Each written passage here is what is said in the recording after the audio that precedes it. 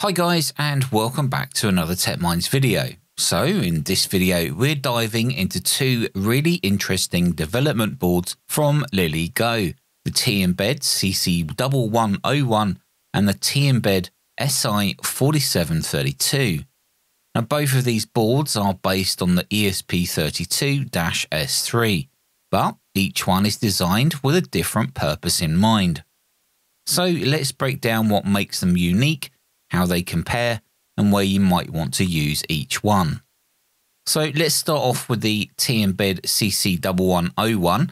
Now this little powerhouse is built around the ESP32S3 dual core chip, meaning you get Wi-Fi, Bluetooth 5 and plenty of processing power. But what makes this version special is that it has a sub gigahertz transceiver. Now that opens up communication in the 300 to 928 megahertz range.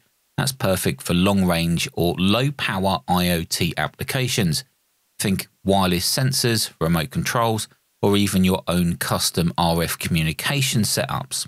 Now it's also got a 1.9 inch IPS LCD, a rotary encoder, a reset button, a small speaker, NFC with a PN532 module, and even IR transmit and receive support. So basically, it's a mini all in one lab for wireless projects. Now, there's also an I.O. header on the bottom, along with a micro SD card slot for memory expansion or storing application data. Now, the default application that comes with this version of the T-Embed has a slight resemblance to the famous Flipper Zero, although the Flipper Zero has hundreds, if not thousands, of applications already available on the internet to download for free. The source code for this version's default firmware is available on GitHub, and there are plenty of other examples that you can either just load as a firmware file or you can delve deep into the code and compile those examples and applications yourself so you can see how they work.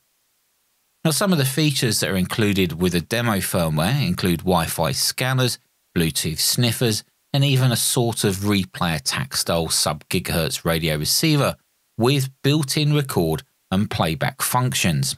And I'd like to take a moment to thank JLC PCB for sponsoring this video.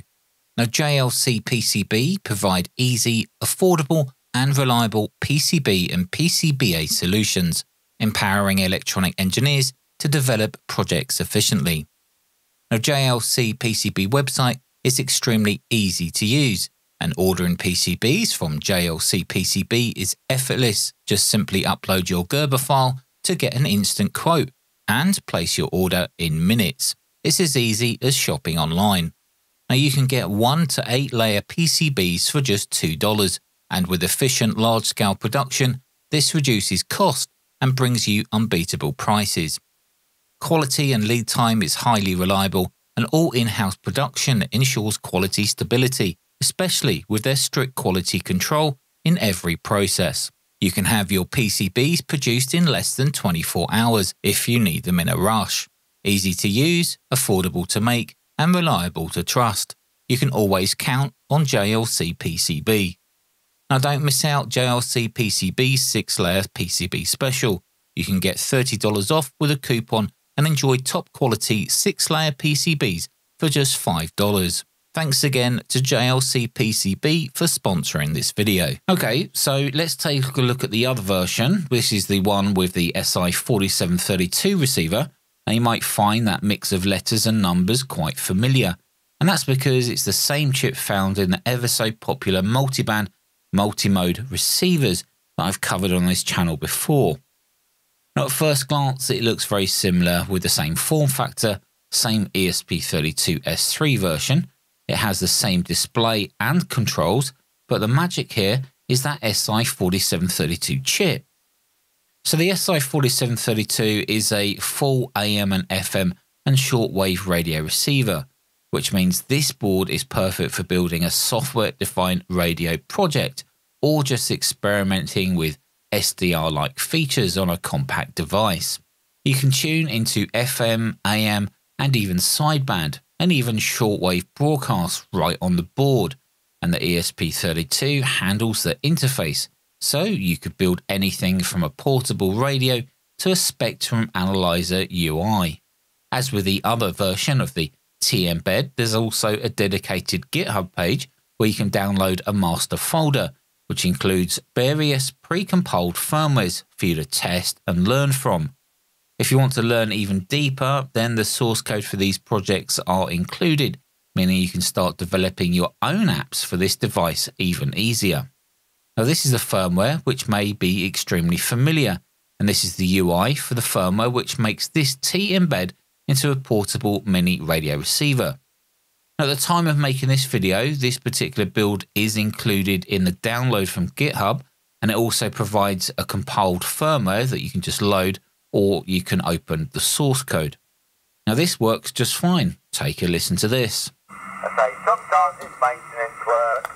Uh, if it's raining, well, we can't do anything outdoors, but uh, I'll just take the headphones off for a second. Entering in X-ray, X-ray, over. Yeah, the call is Mexico 3, Zanzibar, X-ray, X-ray, Mike 3, Zebra, X-ray, X-ray, over. Mike 3, Zulu, X-ray, X-ray, Golf Bravo Oscar, Victor, Juliet. Now, I did also come across another firmware version for this particular device, which does look really nice, and it was very easy to navigate. However, I was not actually able to activate the SSB modes. It appeared they were just not working yet. Now, I'll link to this firmware below just in case that project does improve in the near future. Now, you may be wondering if I tried the other firmware versions that we've seen on those similar smaller devices. Well, I did a couple of them, but they were just not compatible with this hardware just yet. Now, this device definitely sounds better than the little receivers that I've tested before, and it also has this nicer case, not some dodgy 3D printed case.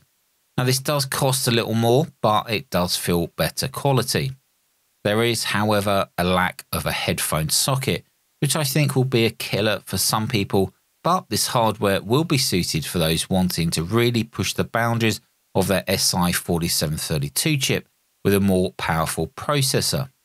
So, how do these two compare? The CC1101 version is all about sub gigahertz wireless communication, which, like I said earlier, is great for IoT and custom RF projects. The SI4732 version is all about receiving existing radio broadcasts, so ideal for SDR hobbyists and radio enthusiasts or anyone curious about radio waves.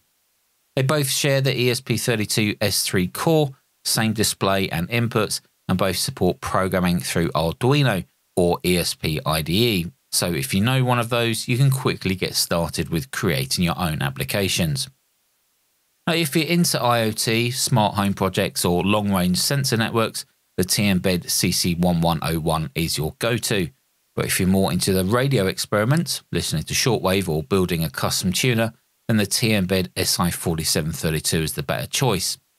Honestly, they complement each other really well. You could even imagine building a project where one device transmits on sub gigahertz while the other lets you monitor and display signals in real time. So there we go. That's a breakdown of the T-Embed CC1101 and the T-Embed SI4732. Two boards, same core design, with very different focuses, one for wireless communication and one for radio reception. Now I'll leave a link to both of these in the description if you want to check them out and find out more about them and let me know in the comments what would you use these boards for? What IoT projects could you experiment with? Or maybe you want to make your own radio interface. Anyway, guys, thanks for watching. Take care of yourselves, and I'll see you in the next video.